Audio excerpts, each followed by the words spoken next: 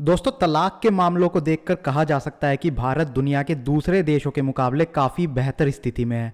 लेकिन पिछले कुछ सालों में ये मामले भी बढ़ने लगे हैं। दुनिया के सबसे विकसित देश अमेरिका में, जहाँ तलाक की दर 40 फ़ीसदी के करीब है, वहीं भारत में यह दो प्रतिशत के नीचे है। हालाँकि पिछले कुछ सालों के आंकड़ों पर गौर किया जाए तो यहाँ भी यह रफ्तार बढ़ी है। रफ्तार तो बढ़ी है, लेकिन जो तलाक के लिए कारण सामने आ रहे हैं, वो काफ़ी चौंकाने वाले हैं।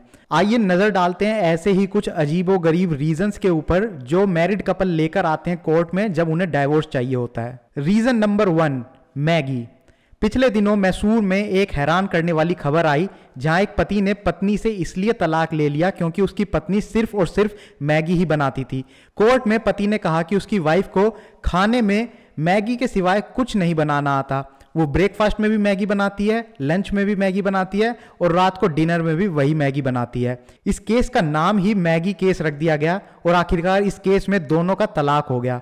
अब यह केस सुनने के बाद हमारी समझ में नहीं आ रहा कि हम आपसे दो मिनट में मैगी बनाने को कहें या दो मिनट का मौन धारण करने को कहें। Reason number two too much sex Mumbai में अदालत ने अपनी पत्नी से परेशान एक व्यक्ति को तलाक की अनुमति दे दी। पति ने आरोप लगाया था कि उसकी पत्नी बेहद गुस्सेल और तानाशाह किस्म की है और सेक्स के लिए कभी तृप्त ना हो सकने वाली इच्छा दिखाती है। पति ने कहा कि 2012 में उसके विवाह के बाद से बीवी ने उसे परेशान किया है। उसने ये भी आरोप लगाया कि उसकी बीवी उसे अलग अलग प्रकार की दवाएँ दिलाती है और उसे शराब पीने के लिए भी विवश करती है। पति ने आरोप लगाया कि वह उसे अननेचुरल सेक्स संबंध बनाने के लिए विवश करती है और जब भी वह ऐसा करने से मना करता है तो उसकी बीवी उसे गालियाँ देती है। आखिरकार दोनों का तलाक हो गया। रीजन नंबर थ्री, पत्नी पैंट पहनती है। मुंबई के परेल इलाके के एक व्यक्ति ने अपनी पत्नी से इस आधार पर अलग होने की मांग की कि वह भारतीय परिधान के बजाय शर्ट और पैंट पहनती है। उसने अपनी याचिका में इस बात का भी उल्लेख किया कि उसकी पत्नी ने तीन साल की शादी के दौरान एक बार सेक्स करने से मना कर दिया था। फैमिली कोर्ट ने तलाक को मंजूरी दे दी, वहीं बॉम्बे हाई कोर्ट ने इसे पलट दिया। कोर्ट ने कहा कि हम क्रूरता का दरवाज़ा इतना चौड़ा नहीं खोल सकते, वरना इंडिया में हर छोटे छोटे मामलों में पति पत्नी तलाक लेने आएँगे और हमें सबको तलाक देना पड़ेगा। रीजन नंबर फोर लिपस्टिक पिछले दिनों लखनऊ में पत्नी की रोज रोज नई लिपस्टिक की मांग से तंग आकर एक व्यक्ति ने केसरबाग स्थित पारिवारिक न्यायालय में तलाक की अर्जी लगाई। शख्स ने फैमिली कोर्ट से कहा कि उसकी पत्नी उससे हर रोज नई लिपस्टिक की मांग करती है।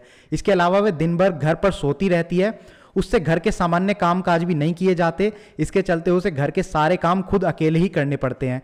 पत्नी की इन आदतों से परेशान होकर वह उससे अलग होना चाहता है। रीजन नंबर फाइव पार्टीज़ कुछ साल पहले महाराष्ट्र में एक मामला सामने आया जहाँ पति ने तलाक के लिए अर्जी लगाई और कहा कि उसकी पत्नी रेगुलर पार्टियों में जाती है।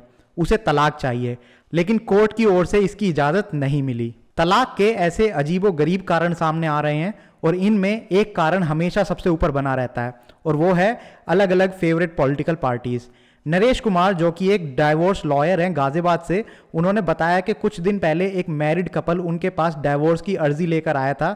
दोनों ही आईटी प्रोफेशनल्स थे और दोनों की ही उम्र लगभग 20 से 30 साल के बीच में थी।